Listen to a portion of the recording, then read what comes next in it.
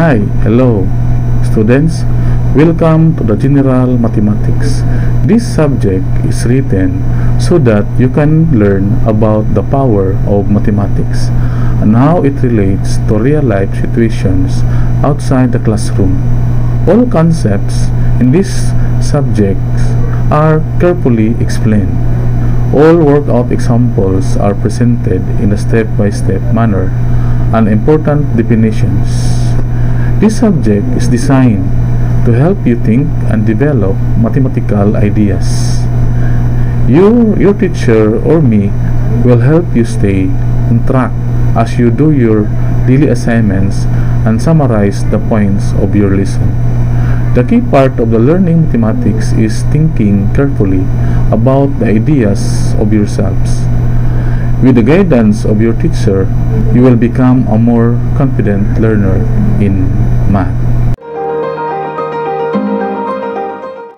Once again, good morning students.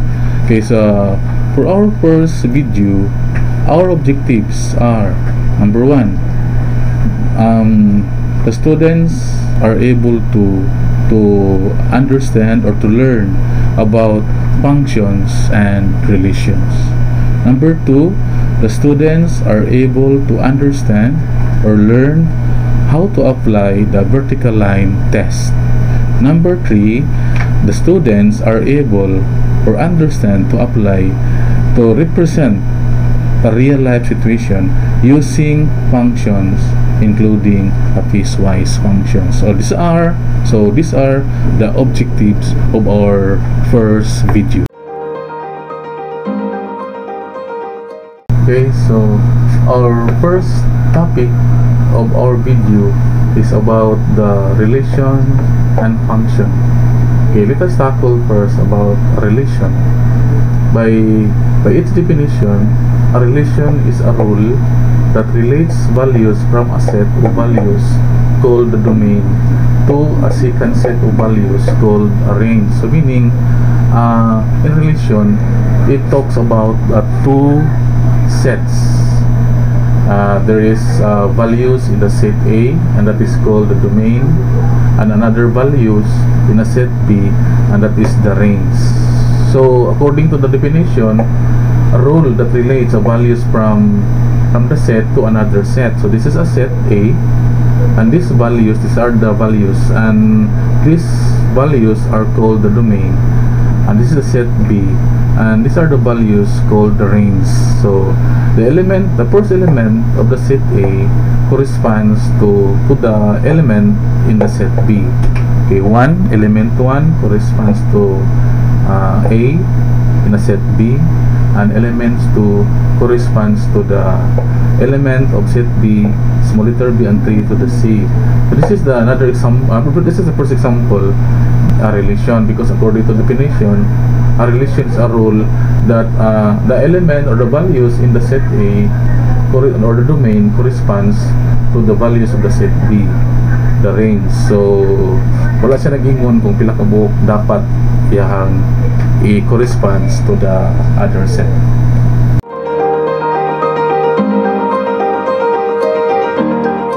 Okay, let us proceed to the to the next topic is a function. Okay, so another definition. This is a definition of the function. A function is a relation where each element in the domain is related only one. So take note. Uh, this is only one, meaning sa ragyon. Only one value in the range by some rule. So meaning uh, based in the definition uh, sabot niya ang kada element na naa sa nga naa sa set or nasa domain dapat kung corresponds lang siya of only one element na naa sa range sa another set. So do not example this example is in mapping. Okay mapping. This is the, this is the form of mapping. Okay let us say this is a set A. The elements of the set A M, N or an L and another set B.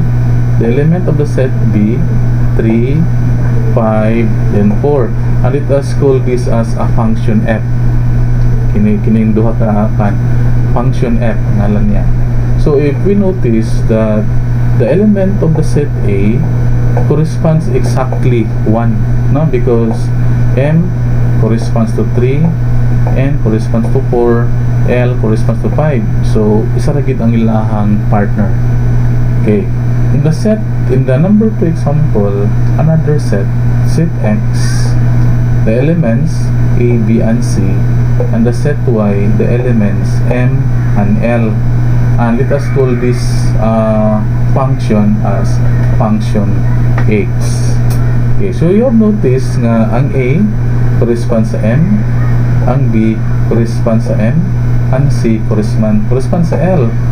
But uh, if we analyze the the the drawing ang A isa lang ang corresponds ang M then ang B corresponds lang isa sa M meaning isa-isa ra ang ilang partner. Although gibalik nila ang M pero every element in the set X or in the domain corresponds lang gid siya o isa lang gid ka element nga naa sa Y or nasa lens so meaning wala na to na violate ang definition.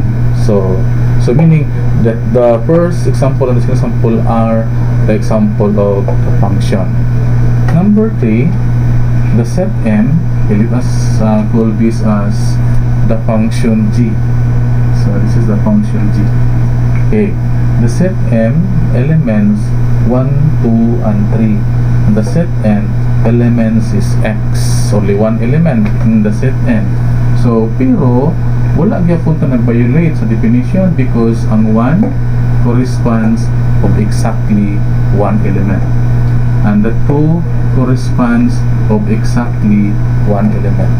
And number 3 uh, element 3 corresponds of exactly one element so therefore these three examples are example of the function okay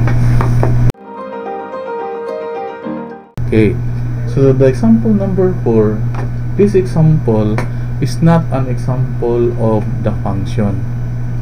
So why? Ano man?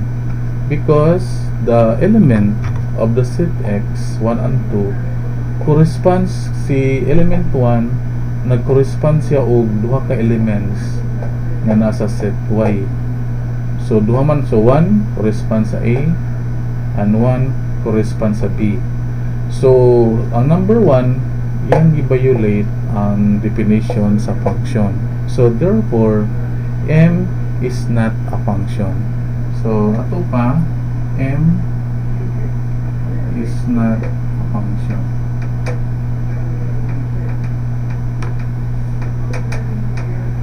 Okay, so this is not a function. Okay, the another form or another form of